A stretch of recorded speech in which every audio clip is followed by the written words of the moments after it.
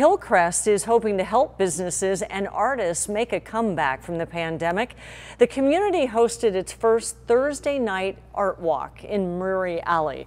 Well, this is just off University between 4th and 5th Avenues. The booths were set up for food vendors and local artists to sell their creations. Organizers are also hoping that nearby businesses will get a boost from the foot traffic and we just felt that it was a good time to try to support artists as we safely reopen, to engage the community safely, um, and then to also support small businesses. Hillcrest is looking to host the Art Walk every Thursday the rest of the month.